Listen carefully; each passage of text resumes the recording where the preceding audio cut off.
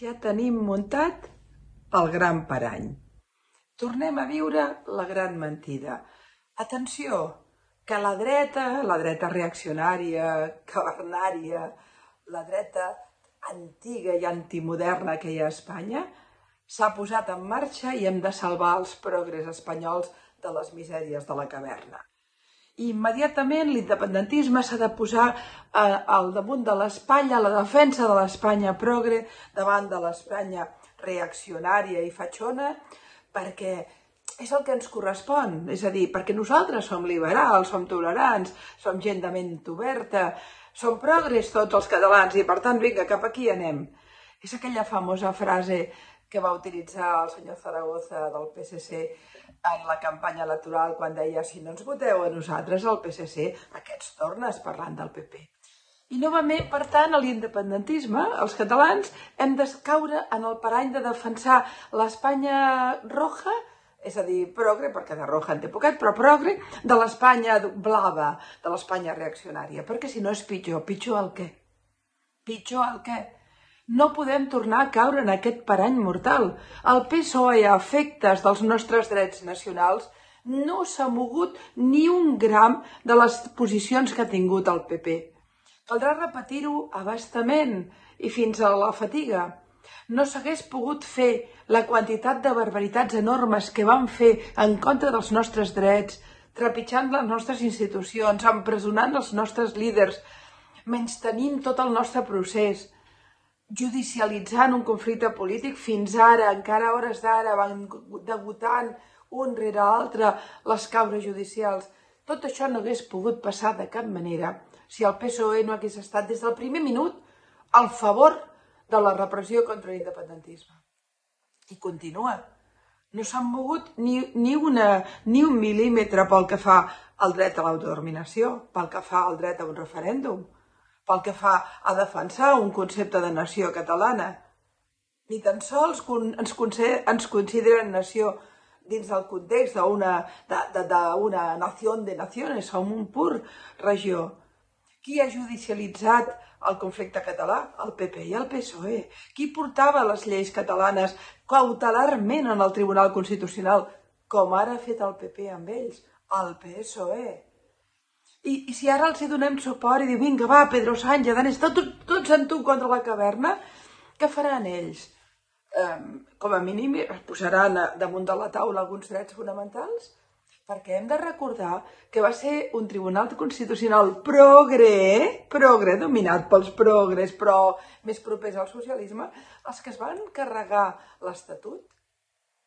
I era un senyor que es deia Guerra, president de la comissió, justament, eh, de l'estat eh, autonòmica, o recordo com es deia, la que va dir nos vamos a cepillar el estatuto. I són líders socialistes els que obertament han fet un envit al propi Sánchez amb tot el tema de la sedició. I ja recordo perfectament qui ha defensat totes les penes brutals que es van produir contra els líders catalans. I ara ens diuen que nosaltres ens hem de posicionar, que estem bojos. Ens foten uns i ens foten els altres. Ens fot l'Espanya azul i l'Espanya roja. Ens ha fotut el PP de la maneta del PSOE i ara ens fot el PSOE i també en el cas de, pel que fa a la nació catalana de la maneta del PP. No oblidem que ara tenen un conflicte. I és veritat que en aquest sentit uns són més antipàtics que els altres, però quan es tracta d'Espanya respecte a Catalunya van a la una que han votat en el Parlament Europeu permanentment en contra nostra i de la maneta de PP i de Vox. I no cal dir dels de Ciutadans, que ja no compten per res, però allà hi eren també. Aleshores, de què parlen? I a més a més, permetin, i aquest pols és un pols, és una lluita eh, per democratitzar més Espanya? O és un pols per controlar el poder? El poder judicial. El PSOE està lluitant pels nostres defenses, pels nostres drets democràtics? Està lluitant per el seu poder, pel control dels poders fàctics de l'Estat. Poders fàctics i control de poders fàctics que a nosaltres ens fotran igualment. Per tant, no. que l'independentisme no s'equivoqui. Sento frases, eh, el Rufián, no us dejaremos solos, coses d'aquestes, que semblen de comuns, més aviat que no pas. Sembla que siguin els Pablos Iglesias o els Monteros de Tormes, no, no pas un partit independentista. Clar, que fa tant de temps que ja no ho semblen, que res és sorprenent. Però què vol dir que los de, no los dejaremos solos? Però si, però si continuen, si ens, ens han negat tots els drets, si l'advocacia de l'Estat, governada pel PSOE, a, a continuar a, anant a les causes judicials contra l'independentisme? Però de què estem parlant? Si tenim de cap de comissari d'Europa el senyor Borrell que encara ens vol desinfectar? No, senyors meus, no. No hi ha una Espanya progre pel que fa al tema català. Tots són reaccionaris, tots són unitaristes i tot intenten destruir els nostres drets. De manera que, sincerament, l'independentisme s'ho hauria de mirar des de la barrera i veure com s'ho fan, perquè aquesta és una crisi espanyola, però no és una crisi catalana. Al contrari, el que ara s'estan esbatussant van utilitzar aquests mètodes uns i altres per fotre'ns a nosaltres. Ja no volen que anem amb ells? Doncs escolta'm, que hi vagin els rufians i companyia, a veure cap a on t'arriben. Perquè una cosa està clara, no és Espanya contra Catalunya el que està lluitant allà. És una única Espanya lluitant entre ella mateixa. Però aquesta Espanya és la que va contra Catalunya. Guanyi qui guanyi, no milloraran els drets catalans. Guanyi qui guanyi d'aquest pols, no millorarà el camí cap a un referèndum, ni la nostra sobirania, ni les nostres competències.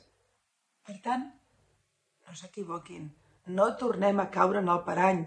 En aquesta guerra no n'hi ha que són més bons per nosaltres.